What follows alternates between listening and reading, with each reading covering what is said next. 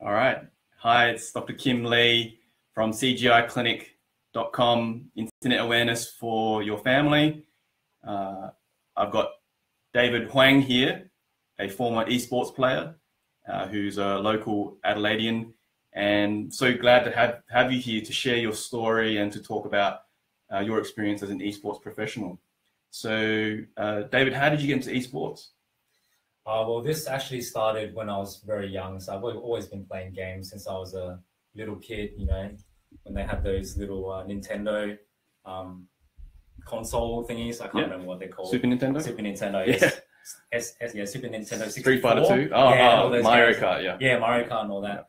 Yeah. Um, so I got it in from a very young age, and mm. that sort of just uh, grew more and more as I got older and especially when I got into high school. Right. Um, once you know things got really stressful, year nine, year ten, um, workload gets higher. Um, then I was sort of looking to gaming as like a stress relief and outlet. Yeah. For that, and then you know as you build that up, you know, as Cam said before, it com- kind of becomes a habit and it becomes your go-to when you're you know having any stress, you have any free time. You're just like, you know, what else are you gonna do with your time? Yeah. I'm just gonna hop on, play games for a few hours. Right. And then, you know, those few hours, um, first it starts off, you know, one, two hours, then it becomes, yep. you know, uh, three hours, four yeah. hours. And next thing you know, you're, you're playing, pretty much spending all of your spare time right.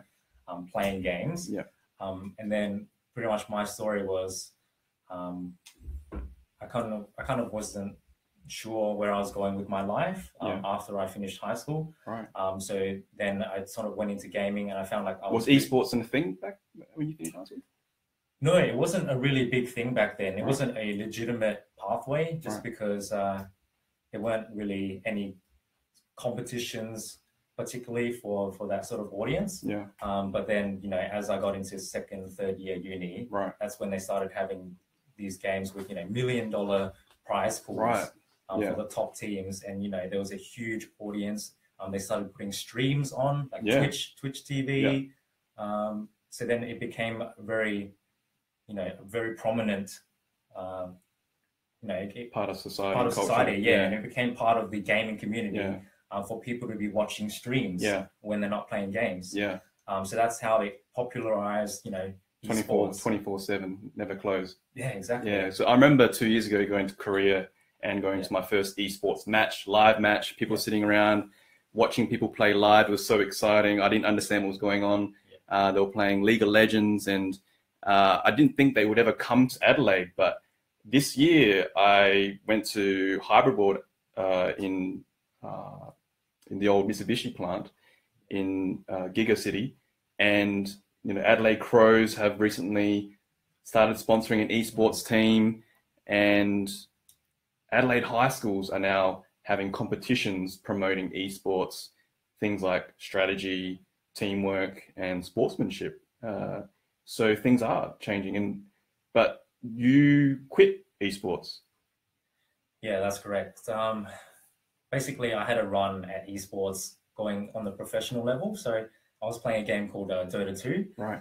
Um, and we actually created a team because there's five people. Um, yeah. We actually organized to um, and actually live together physically and wow. play, commit ourselves full time to playing games. Who paid for all that? Um, that was self-funded, self-funded, self-funded. Yeah, right. so we saved up money. Um, we funded. You know, we rented out a house together.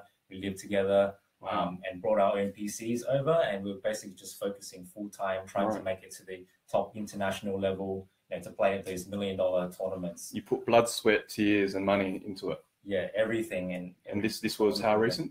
Um, this was I quit basically about three months ago. Wow. Um, and yeah, so about three months ago, I was still a professional gamer. Yeah. still playing, you know, 12, minimum 12 hours a day. And then the rest of the time was just hours. watching, going through replays, analyzing professional players to, you know, adapt their style, yeah. basically studying the sport. Yeah. yeah. yeah. Did you enjoy your time? Yeah, I, I did enjoy my time. But like you said, it's hard to manage and find a balance between playing games and also um, having a balance in life, you know, your health, your fitness. Yeah. Um, it's easy to just sit there for hours and hours because, yeah. you know, you as you're, you're playing, you're having fun yeah. and you don't really keep track of time. Time goes by so quickly for you. You don't realize next thing you know, you're, you've been playing for five hours. It doesn't feel like five hours. Yeah. It feels like 10 minutes to you. Yeah. So it's really so, easy to. You went from playing 12 hours a day, playing professionally, and you're, you went cold turkey? Cold turkey, complete cold, cold turkey. turkey. What was yeah. that like? Uh, well, it was, I guess, I had a complete change of lifestyle. So that was what helped me. Um, I didn't, I replaced, like Cam said before, replacing my old habits with new habits. Yeah. Um, so instead of playing games, I'd be, I joined the gym, I played yeah. sport, mm-hmm. uh, went out and I actually made an effort to socialize with friends right. and connect, reconnect with you know old friends. Yeah. Um, so and then I was looking for a job as well. Yeah. Um, which I did get. So now I'm working oh, full time. Great. Which which makes it a lot easier because yeah. I'm I'm working towards another purpose there. Yeah. Um, but so I'm satisfying that need for competition yeah. and need for a purpose by moving from the gaming right. onto other things in life. Did you have that plan set up as you were training, or you you you made that decision and then you started planning? No. So basically, I just I came back from Perth. I spent six months in Perth full yeah. time. You moved for this. Moved for this. For yeah, this six months. Right. Um, and as, when I came back, um, I basically just made the decision. You know, I I had to make a change. You know, yeah. this wasn't working for me. Um, it wasn't healthy. Yeah. Um, I was and you know I wasn't getting anywhere right. in it. Um, because it is a very tough market, very tough yeah. competition. You're competing with the rest of the world. Everyone has access to internet. Everyone plays games. Yeah. And there's a lot of good players out there who are playing more like the same as you, if not more than what you're you know, yeah putting in. So so I, I watched a video today on uh, the BBC and uh, the person no what was it? It was a TED talk, and the guy had tried to become a professional player, and he said that because he failed, uh, for a lot of people, it's actually a pipe dream. What's what's your thoughts on if a parent has a 12 year old in high school spending a lot of time playing these games, sacrificing schoolwork, uh, playing with friends, meeting with family because of their dream to one day become an esports player.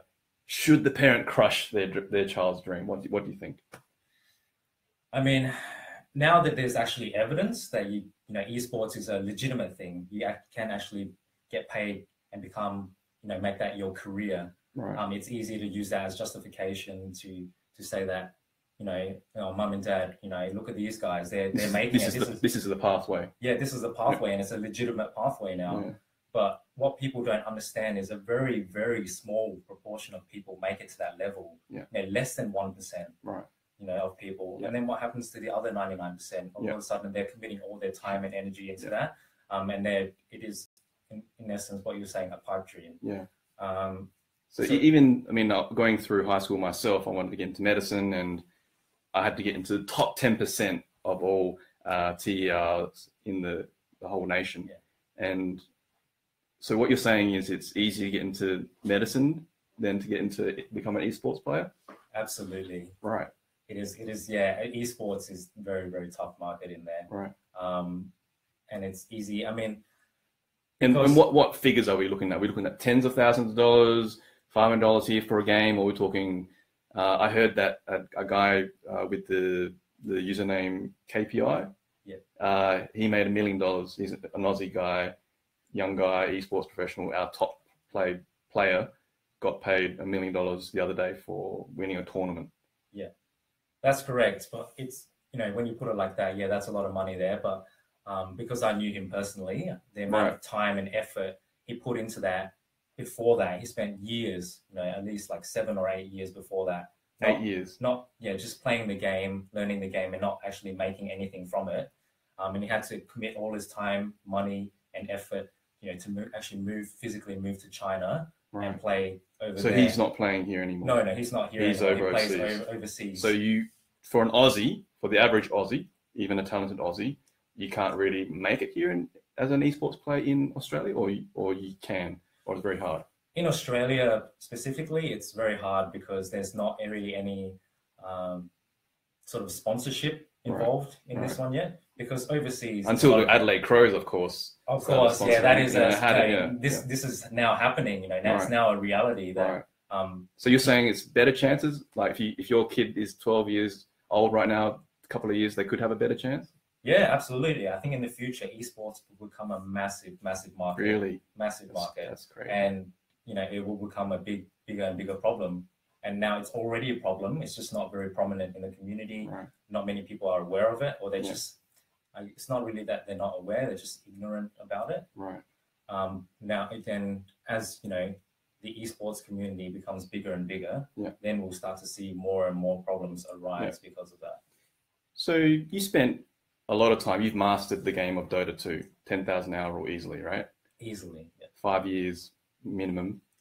Uh, why can't you play casually? I mean, you went cold turkey. Why was it important for you to go cold turkey?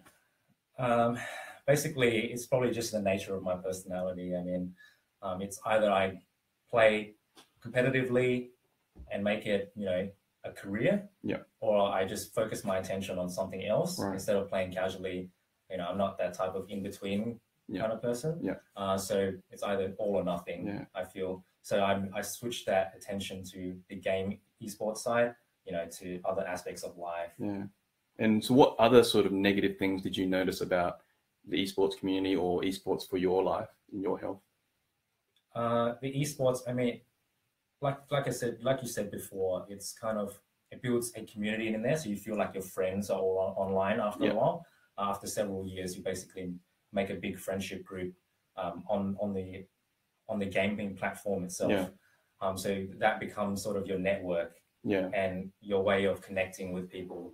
Um, so in that aspect, it sort of gives you a fake, fake sense of reality Right. that you know you're not, you're making friends Yeah. and you're playing games, you're making some sort of progress in Yeah. life. Yeah. Um, but you know, at, at the end of the day, you, you're not really progressing in life. You're just progressing on this virtual Yeah. virtual world Yeah. that's created. You know. So uh, you got really interesting question here from Owen Dodds. Hey Owen, uh, Owen asks, do you regret playing that much, or do you look at it as part of your life that has shaped you? No, I, I definitely don't regret it. Looking back now, um, it has. You know, I accept that it's a part of me. It's some. It's a journey I had to go through um, to get to where I am now. Yeah. Um, and you know, if I was to go through again, I I would still, you know, go through the same thing again. I would still go through my esports career. Yeah. Um, but at the same time, I'm glad that I was able to get out of that cycle Yeah. and be aware of you know Yeah. um, the effects that it had on me. Yeah. Um, but I feel like if you have a balanced lifestyle, Yeah. and you're you're good at it, and you feel like there's potential there, then there could be a reason to pursue it. But in terms of the general population, it is a very very hard, you know, career or market to get into to Yeah. become a professional Yeah. esports player. yeah. So, what do you mean by balanced? uh, balance as in you know tackling the other aspects of your life friends family Mhm. um, it's easy to just sit there at your computer 12 hours a day you know wake up That's the easy play part. it's, it's so easy i mean you can just sit there and ignore every other aspect of your life Yeah.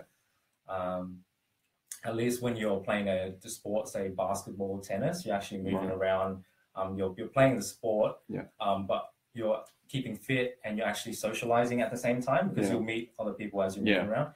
But when you're on a game, you're just sitting there in front of your computer by yourself. Yeah. Um, you know, you and you think you're interacting with people, but So a lot of the kids that I see, they we sit down with their parents and suggest that they should take up something like basketball or martial arts, Mm. for example. But the kid may even have, be talented at those sports, but they find it boring. Uh, What would you say to the young person who finds it easy to grind online but hard to learn skills or get better at a real sport or uh, a more traditional sport? um, I feel like it's just more of finding the right sport that they, they enjoy. Um, you know, some people like basketball, some people like table tennis, Right. some people like you know soccer, Yeah. and it's just about you know trying different things and making sure that you find the right fit for you. But let's say they've tried five different things and they're bored of all those things, or they might enjoy it, but it's not the same kind of instant hit. Mm. Like any, Yeah. I mean, what would you say to a young person? Yeah, I understand that. Well, when I started guitar, for example, Yeah.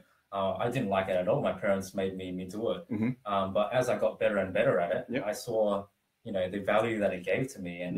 I saw music um, suddenly becoming an important part of my life. And I wanted to, as I got better and better, I wanted to play more and more on my guitar. So it's kind of like that. It's just you put you know, at first it might not be something that you're interested in, but as long as you put the effort in there, and then you know, who knows, maybe, maybe later on you might start to enjoy it and actually, yeah. you know.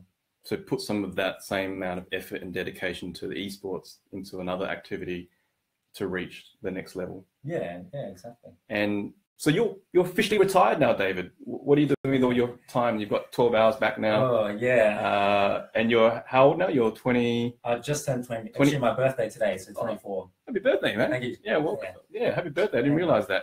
Uh, so happy that you could spend time with us um, tonight and and and uh, um, share your birthday with everyone yeah, here on Facebook Live. It's all good. I'm glad to be here. Uh, you're retired at 24.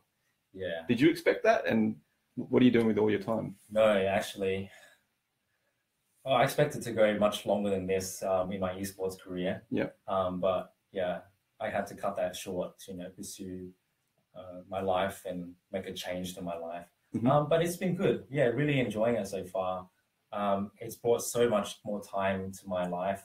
Mm-hmm. Um, like before, I was struggling to find time in the day to just you know make dinner or eat. So I, I just wouldn't even bother. I'd just go out and buy junk food, you know, half an hour and get back back on the grind on, on computer games yeah. and you know grind my rankings. Yeah. Uh, now, because you have so much more time, you're more relaxed, um, you're more at ease with yourself, and you sort of see the little things in life that make you happier. Yeah. So it's like spending time with friends, family, conversations, um, and you just genuinely enjoy having other people around. Whereas before, when I was playing games, I didn't want anyone to disturb me. Right. Like, don't even disturb me. Don't come yeah. near me while I'm playing yeah. games because yeah. yeah, that was my, my world. That was my reality. It was a wedge between you and the people you really care about. yeah. Exactly. All right. Well, thank you so much, David, for spending your no birthday and your time here with yeah, us. That's all good. Uh, we'll have a celebratory dessert or something after this. It's bloody hot in in Australia uh, yeah, tonight, and I'm sweating. Uh, we will be having Cam Adair next, so everyone stay tuned. Uh, Cam, Cam Adair from GameQuitters.com, uh, a visitor from uh, America, and here to speak with us with David and myself. So really excited. St- stay tuned. Thanks. Thanks. Mate.